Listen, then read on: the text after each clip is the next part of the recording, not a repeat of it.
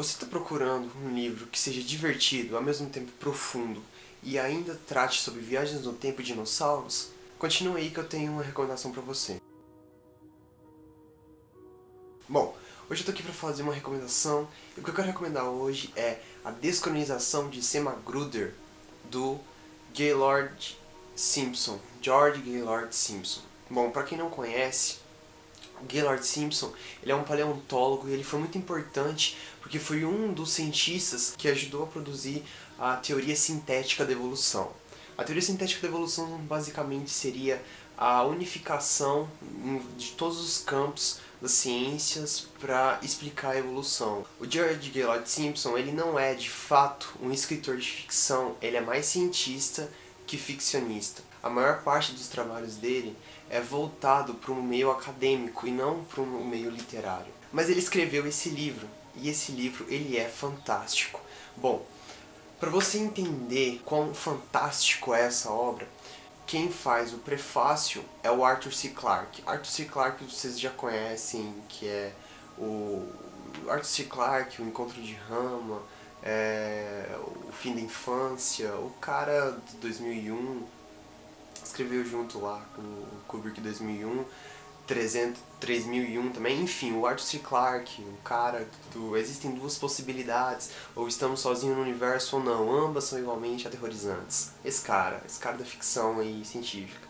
E nós temos outro cara que é especialmente cientista e também é paleontólogo e o que é mais legal é que ele é paleontólogo por causa do Gaylord.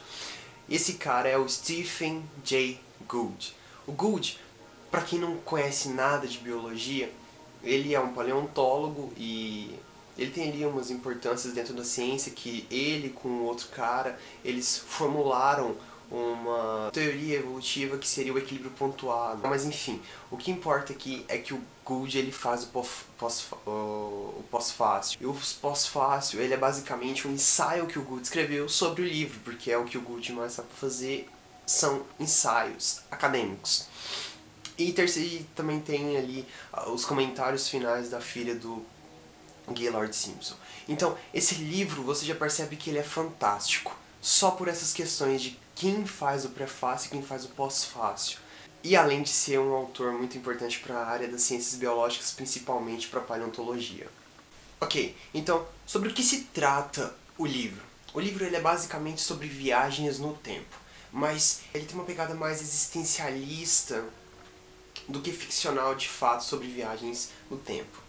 Ok, então nós começamos com uma discussão entre o historiador universal, o pragmático, um etólogo, que seria o estudo do comportamento, uma pessoa comum. Se não estou enganado, são essas pessoas. Deve ter mais algum ou outro personagem que eu não me recordo agora. Pois bem, então, e o historiador, o historiador universal, ele faz uma pergunta completamente instigante. Como seria se nós fôssemos isolados e soubéssemos que nunca mais teríamos contato com a humanidade? Então, ele cria essas condições para introduzir a história do Sam Magruder. Sam Magruder, ele foi um, ele foi um pesquisador de, da, do tempo, então ele era um cronista basicamente um descronista. Então, ele estabelece ali que o tempo, ele não é contínuo, na verdade, o tempo ele não segue em linha reta contínua, na verdade ele segue de forma espiral e que você consegue saltar no tempo. Só que, uma coisa que eu achei fantástica é que ele diz que, beleza, é, o passado ele existe, nós sabemos que o passado existe, e o presente nós também sabemos que o presente existe, mas o futuro o futuro ele não existe. O futuro, de fato, não existe. Ok, beleza, nada demais. Mas o problema é que é quando você volta para o passado, o seu presente agora é o passado e o futuro deixa de existir. Ou seja, se você volta para o passado, você não pode voltar de volta para o seu presente, porque o seu presente agora é o futuro. Então, dessa forma, o Semagruder ele vai ficar completamente isolado na época que ele voltou. E para onde que ele volta? Bom, o Gaylord ele era paleontólogo, Então, nada mais sugestivo do que nós pensarmos que o Sam Magruder volta para uma época onde tem dinossauros.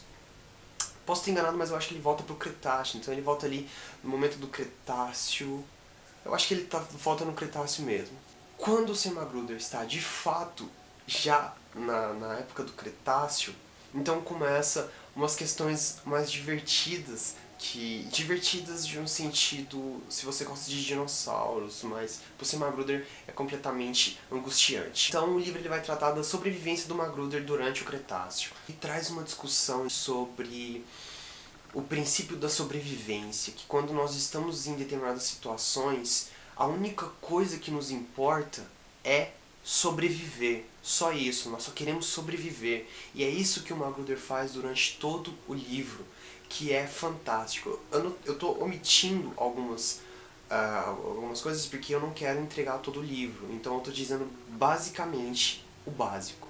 Porque o livro ele possui muitas sutilezas. Primeiro que como que o Magruder se comunicava com o pessoal no futuro. Porque o, o historiador universal e o pragmático, etc., eles estão no ano de 2148, alguma coisa assim, já estão no século 22, e o Magruder voltou para o Cretáceo. Então como que eles conseguem descobrir, como que eles conseguiram saber que o Magruder voltou no tempo, como que o Magruder de fato voltou no tempo, eu não vou falar esse tipo de coisa porque eu quero que você leia o livro, que infelizmente ele não está à venda é, grandes livrarias. Infelizmente você só encontrar esse livro em sebos ou você consegue encontrar ele na Amazon, só que só a versão em inglês dele, a versão em português só tem o primeiro capítulo ali no Google Books, mas você não vai encontrá-lo tão facilmente. Mas de qualquer forma, existe ali umas nuances no livro que são muito legais. Na questão paleontológica, ele traz ali uh, algumas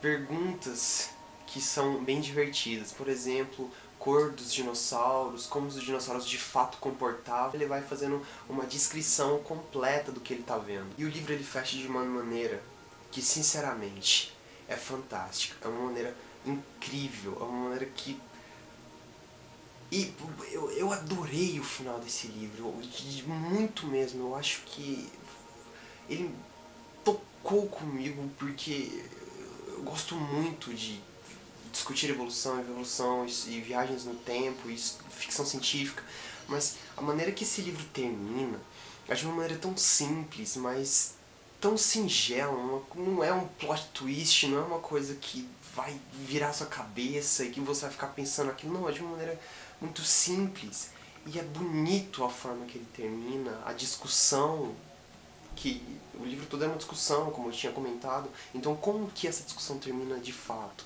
É muito, muito legal. Se você puder ler esse livro, não perca tempo. É um livro muito legal de ler. É um livro que vai ficar na sua cabeça por muito tempo. Porque ele é de fato muito bom. E a discussão que ele traz é fantástica. A maneira que ele, a maneira como ele é abordado, a maneira como ele aborda todas as questões é, filosóficas, as questões paleontológicas, as questões geológicas, as questões científicas, é muito legal. Então fica a minha recomendação a descolonização de Semagruder, do Gaylord Simpson, e até mais.